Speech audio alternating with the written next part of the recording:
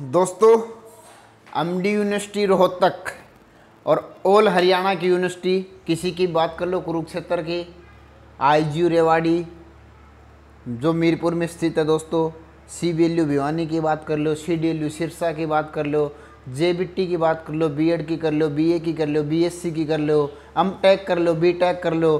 दोस्तों, किसी भी कोर्स का ऐसा अब शेड्यूल नहीं बचा है कि छात्र प्रमोट ना हुए हों कंपार्टमेंट के हों, चाहे first year second year final year किसी भी परीक्षा के विद्यार्थी क्यों न हो। दोस्तों, सभी को यूनिवर्सिटी की तरफ़ से प्रमोट कर दिया गया है। बड़ी अपडेट है, आप लोगों के बीच में पहले भी लेके आ चुका हूँ। ये जो दो नोटिस आप देख चुके होंगे, दोस्तों, अब इन्हीं नोटिस का जो ट्रांसलेट है, उसको अब हिंदी में करके आपके सामने बात की जाएगी, ताकि आप स्वयं इन सब पॉइंटों को बारीकी से पढ़ सकोगे और इसके बारे में जान सकोगे। यूनिवर्सिटी ने क्या क्या और क्या आपको नहीं बताया है? बहुत से विद्यार्थी ऐसे होते हैं जो इसको समझने में परेशानी का सामना करना पड़ता है। तो दोस्तों, हमने ये हिंदी में ट्रांसलेट करके इसको आपके सामने रख दिया है। दोस्तों, यदि आप हमारे चैनल पर पहली बार आए हैं, चैनल को सब्सक्राइब ज़रूर कर लेना, वीडियो को लास्ट तक ज़रूर देखना। अपडेट है, सबसे बड़ी अपडेट है, अच्छी अपडेट है, आप सभी के काम की है। और वीडियो को जल्दी से जल्दी शेयर और कर दो दोस्तों, सभी दोस्तों के पास ताकि सब लोग इस चीज़ को देख सके, इस अपडेट को देख सके। दोस्तों, यहाँ देख पा रहे होंगे ऑर्डर जो जारी किया गया है, विश्वविद्यालय और कॉलेज का समापन 30 से 2020 तक विश्वविद्यालय और कॉलेज में परीक्षाएँ राज्य सरकार द्वारा दिनांक 12 छः 2020 को जारी किए गए आदेश के आंशिक संशोधन में, यानी कि इन्होंने 12 छः 2020 को जो नोटिस जारी किया था, उसमें फ़र्स्ट ईयर और सेकेंड ईयर के विद्यार्थियों को प्रमोट किया था बाहर स्टेट के विद्यार्थियों को प्रमोट किया था। और दोस्तों, आज इस नोटिस में कुछ संशोधन किया गया है। संशोधन के बाद ये नोटिस आप देख सकते हो स्क्रीन पर आपके सामने।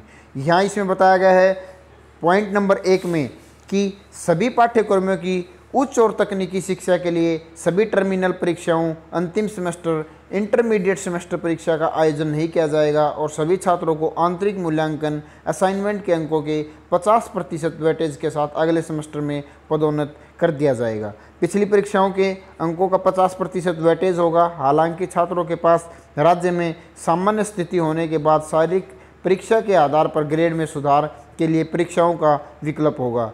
दूर दूरस्थ शिक्षा निजी छात्रों के लिए यही फार्मूला लागू होगा। बसरते आगे कहा जाता है कि यदि कोई विश्वविद्यालय चाहता है तो वह ऑनलाइन परीक्षा आयोजन कर सकता है। यदि और केवल यदि विश्वविद्यालय पूरी तरह से तैयार है और उसी के लिए सुसज्जित है और यह भी सुनिश्चित किया गया है कि सभी छात्र संबंधित विभाग की सूचना के तहत ऑनलाइन परीक्षा देने में सक्षम है।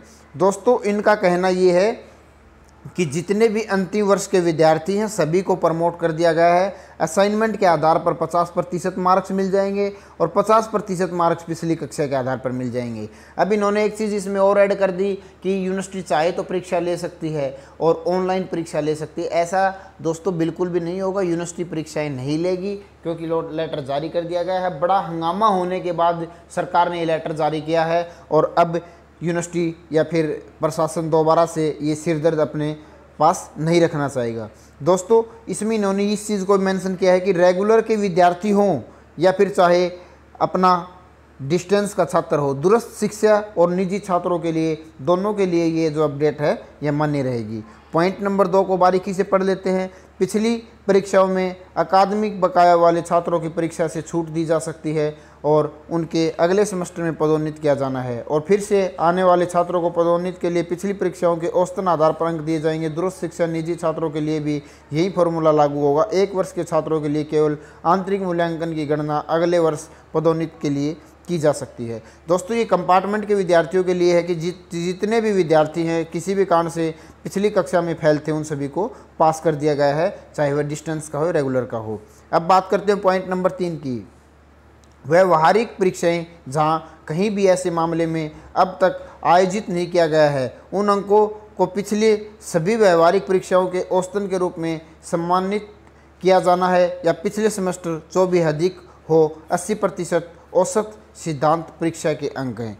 पॉइंट नंबर चार की बात करें, विश्वविद्यालय के शिक्षण विभागों में प्रवेश व्यक्तिगत विश्वविद्यालय स्तर पर आयोजित किए जाएँगे, जबकि स्नातक और स्नातकोत्तर स्तर के लिए केंद्रीकृत ऑनलाइन प्रवेश उच्च शिक्षा विभाग द्वारा पिछले अभ्यास के अनुसार आयोजित किए जाएँगे। पॉइंट नंबर पाँच की बात करें दोस्तों तो यह लिखा गया है कि अंतिम वर्ष के छात्रों की परीक्षा अगले सेमेस्टर वर्ष के मध्यवर्ती वर्ष के छात्रों को बढ़ावा देना और राज्य के सभी पॉलिटेक्निक में व्यवहारिक परीक्षाओं के पुरस्कार भी एक समान तरीके से आयोजित किए जाएँगे। पॉइंट नंबर छः में बताया है कि यह सभी कुलपतियों को परामर्श के लिए विभिन्न हितार्थकों के साथ जिन्हें विभाग को सूचित किया जाता है। यानी कि जितनी भी यूनिवर्सिटियाँ हैं, उन सभी के लिए इन रूल्स को लागू कर दिया गया है दोस्तों।